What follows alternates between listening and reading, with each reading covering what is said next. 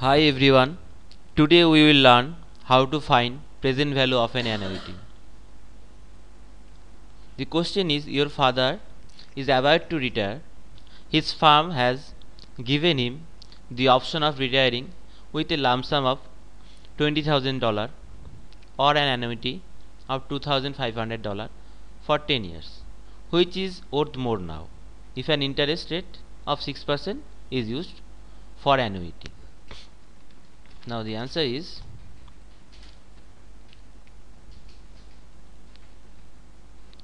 present value of an annuity equals to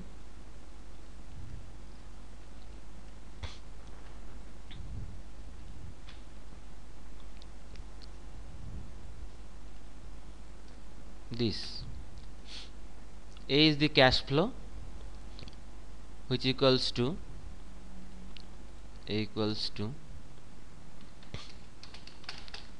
2500 and I interest rate equals to 0.06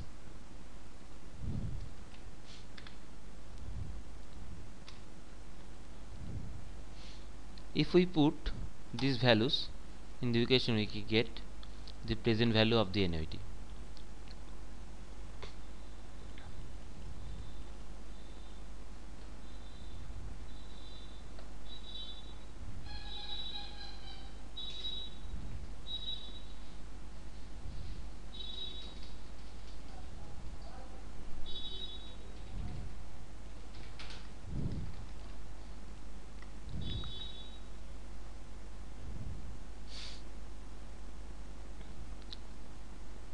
in place of a 2500 and in place of i we put 0.06 we get 18400.22 dollar.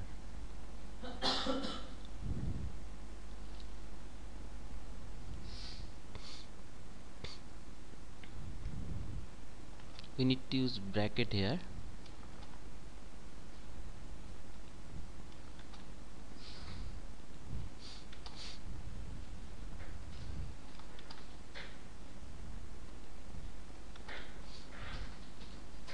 so we can separate it from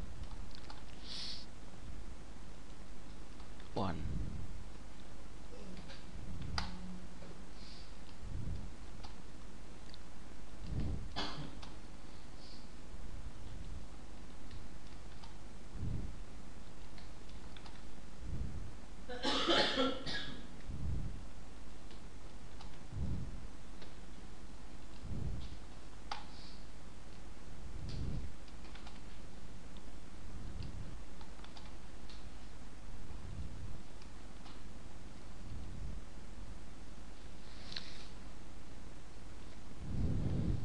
so the lump sum of $20,000 is worth more now. So the lump sum of